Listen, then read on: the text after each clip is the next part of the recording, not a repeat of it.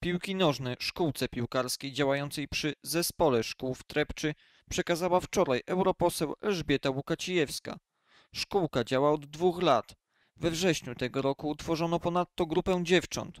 Inicjatorami jej powstania są m.in. starosta sanocki Sebastian Niżnik oraz wójt gminy Sanok Mariusz Szmyt. Dostaliśmy e, od pani poseł e, 19 piłek, rozmiarze 4 i z tego jesteśmy bardzo wdzięczni, wdzięczni, tak samo ja jak i dzieci. Najbliższy, taki już bardziej konkretny turniej to jest e, dziewiąta edycja turnieju piłki halowej Orły Cup w Rzeszowie, e, gdzie jadą na, to, na nią chłopacy z rocznika 2001 oraz dziewczyny, wszystkie dziewczyny, które będą podzielone na dwie drużyny. Doceniam te wszystkie inicjatywy, które służą właśnie aktywności młodego człowieka, bo to absolutnie procentuje e, na całe dorosłe życie, więc ja cieszę się, że jest taki zespół, że znaleźli się inicjatorzy, że pan trener poświęca czas dziewczynom. No i wie pan co, no i to jest niespotykane, że e, młode dziewczyny wkraczają w obszary, które do tej pory były zarezerwowane tylko i wyłącznie dla mężczyzn. Po krótkiej, ale bardzo miłej uroczystości przekazania piłek przyszedł czas na konferencję prasową. W ogniu pytań stanęli europoseł Elżbieta Łukacijewska, członek zarządu województwa podkarpackiego Sławomir Miklicz oraz starosta sanocki Sebastian Niżnik. Trzeba jednak przyznać, że świąteczny nastrój udzielił się także dziennikarzom, bo wspomniany ogień pytań przypominał bardziej tlące się ognisko.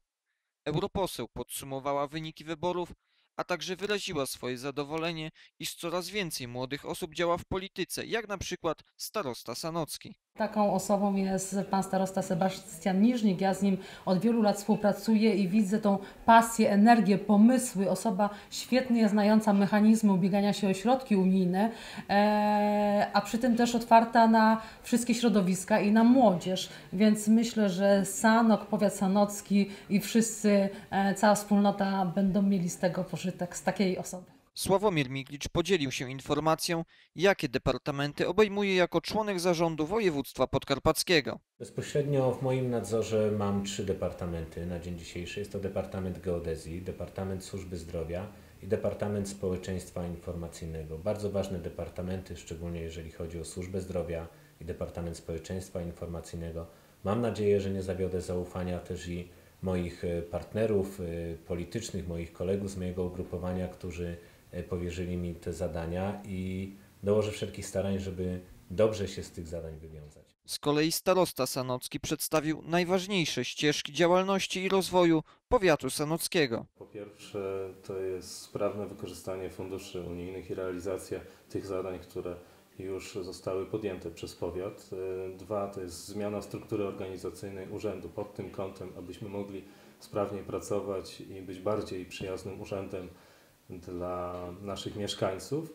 I trzeci, to rozpocząć współpracę z organizacjami pozarządowymi. To myślę, że takie priorytety na najbliższy czas. Oczywiście staniemy przed trudnym tematem e, szpitala i sprawami związanymi z jego przemianą, restrukturyzacją, e, polepszeniem pracy. No takie plany mamy. Okres świąt Bożego Narodzenia oraz Nowego Roku skłania do rozliczeń i nakreślania planów na przyszłość. Jaki był obecny dla Platformy Obywatelskiej, każdy musi ocenić sam, jaki będzie przyszły. Na to pytanie będziemy szukać odpowiedzi już za rok.